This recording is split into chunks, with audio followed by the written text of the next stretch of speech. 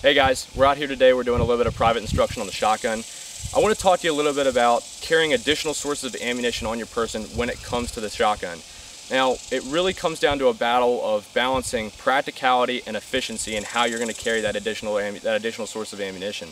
So looking at maybe carrying your shells in your pocket, obviously very, very practical, but not very efficient. You know, it's going to be difficult to go ahead and get those shells oriented in the right direction and get them up to the gun.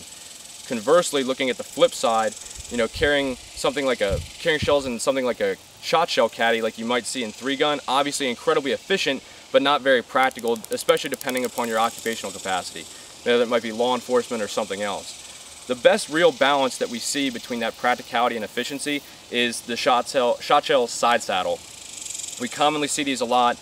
They're either made out of metal, polymer, or sometimes elastic like this one.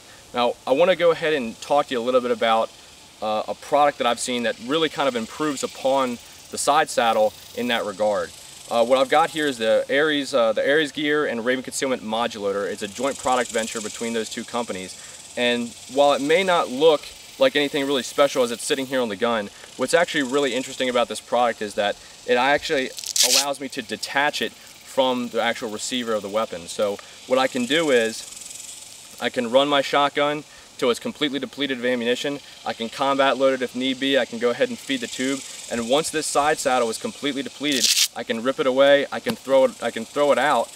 And I've actually got a bracket that attaches to my Ares belt or any, really any other belt. It's adjustable. Um, and it holds an additional shell panel that I can immediately go ahead and replenish the source of ammunition on my shotgun.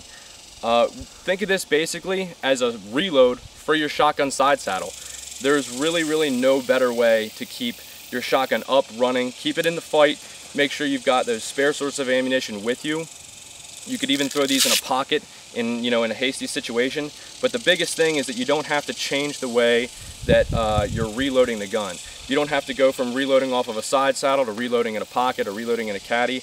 I can get all my reps in, get all my training reloading off of a side saddle, once I go ahead and deplete that source of ammunition, if I have to reload the gun again for a second time, I can get rid of it, get it off my belt, put it back on, and I'm back in the fight.